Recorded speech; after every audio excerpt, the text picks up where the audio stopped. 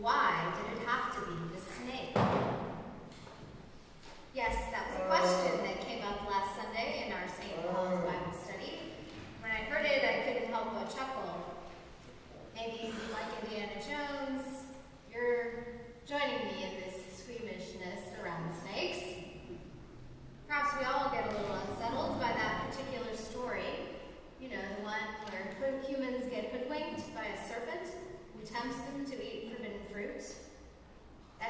myth has been one we have been taught to hear as a tale of desire turned deadly. It's a story that parallels other human etiologies that attempt to tell us why the world is like it is. We are made in the image and likeness of God, and we struggle to distinguish evil from good. We are finite creatures who seldom grasp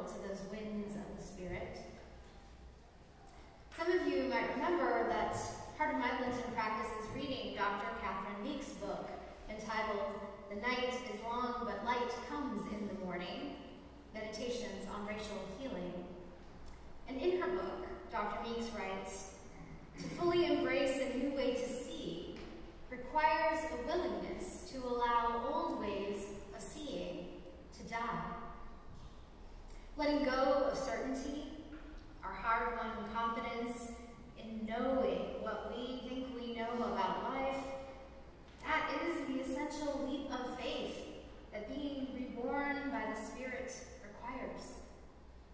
And most of the time, we fear that kind of surrender.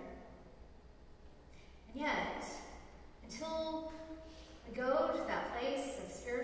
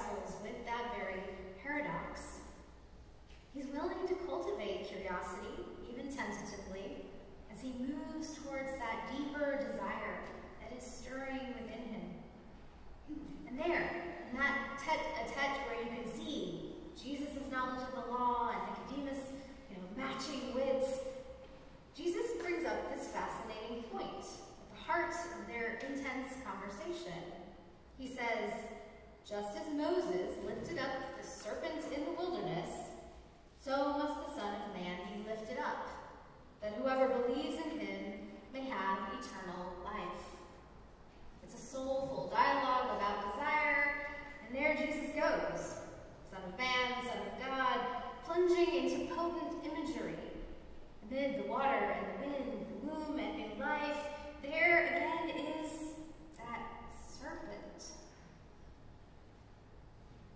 Are you too squeamish when you hear Jesus making this analogy about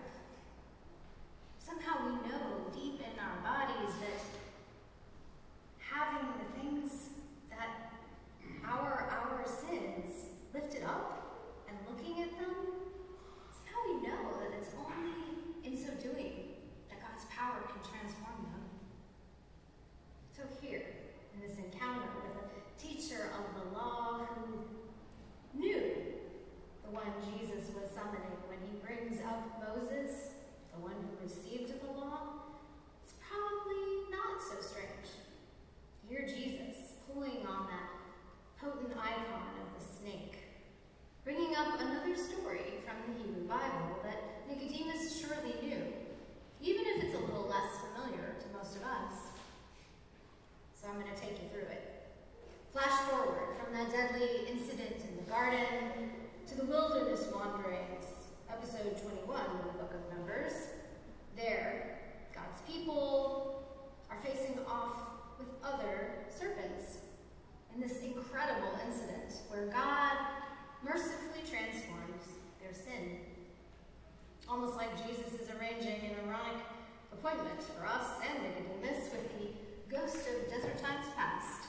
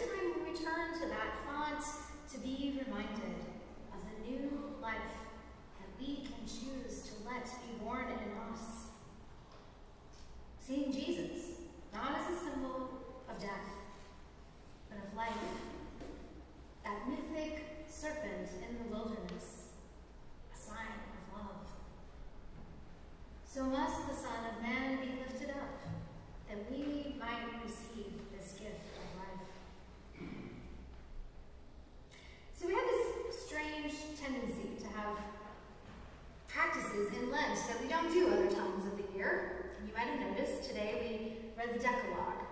And yes, I forgot to kneel down at the very beginning, but it's tied to these ways that we have of needing to name what we have to confess and bring into the light so that we can really and truly receive this forgiveness and love that God wants to pour into us as we face the things that we have done and left undone,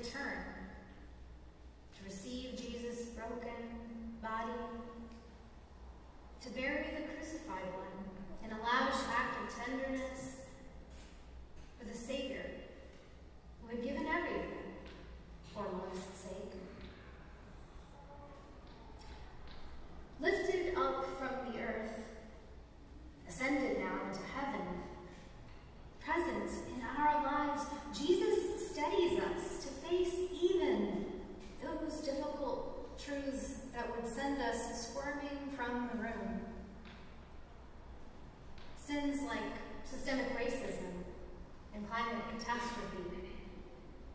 These things we inherit from our ancestors with complicated history.